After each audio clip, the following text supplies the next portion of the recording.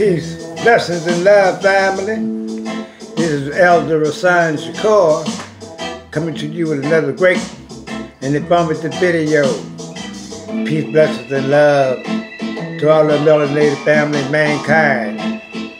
Well, family, this video is going to be a series of our melanated family for Black History Month.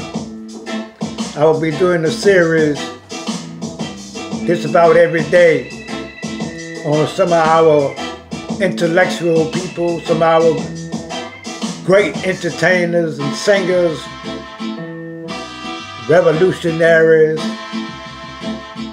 this, that, and the other.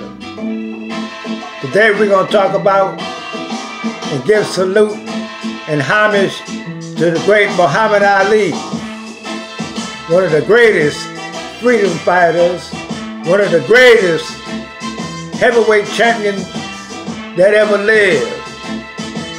For his rights. That's right.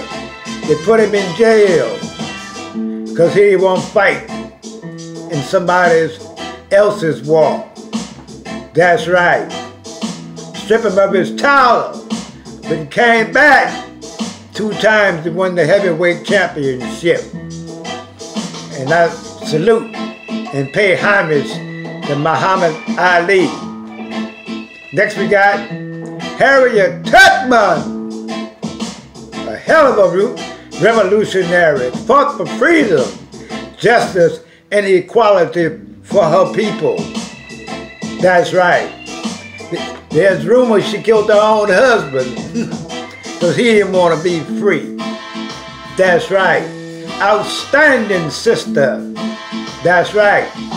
That fought for freedom, justice, and equality, and higher education for her family, the melanated family. That's right, family.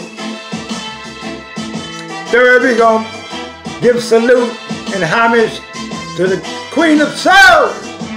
Queen of Soul, Aretha Franklin, one of the greatest R&B singers of all time. That's one of the greatest, the greatest, the greatest R&B singer of all time. A great gospel singer. That's right.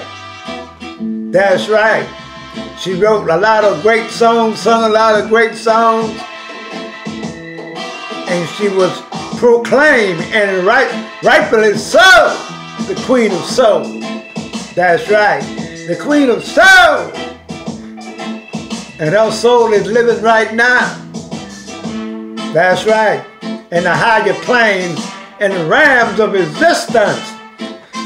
Live on, Aretha. Live, live on, Harriet Tubman. Live on, Muhammad Ali. In spirit and in truth. That's right, family. Peace, blessings, and love to all the melanated family. Although listen to this video, please subscribe. Put up the shares and the likes. And let me know how y'all feel about it in the comment section. And stay tuned for the next video or live stream. The live stream might come next, never know. And the Baba is out.